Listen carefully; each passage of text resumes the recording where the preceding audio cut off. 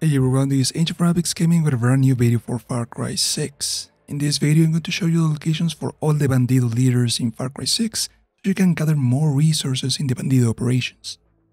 To unlock Benito you need to complete the story mission Fuel the Revolution in the starting island of the game. For Isabela and Marisol, go to Valle de Oro and complete the Wing and a Prayer Yaran story in the Noventarmas district.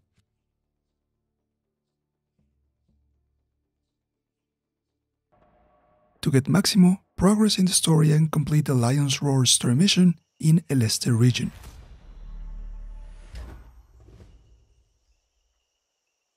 For Sergio, you need to do two Yaran stories in El Este region. The first one, Undercover Stud in La Joya district, and after that one, The Tricks of Trade. To unlock Freddy Fonseca Jr., go to Valle de Oro region and complete the Stealing Home Yaran story in Cruz del Salvador district.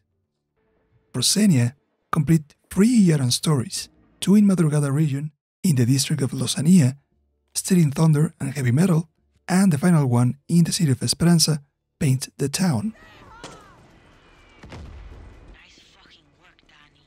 Finally, for Big Papi, go to Duende Island on the east side of Valle de Oro region to complete the Yaran story Big Papi in Little Yara. Be sure to check out more Far Cry 6 videos that I will be uploading in this place right here as I progress through the game. But for now, hope this is useful, thank you for watching and keep enjoying the game.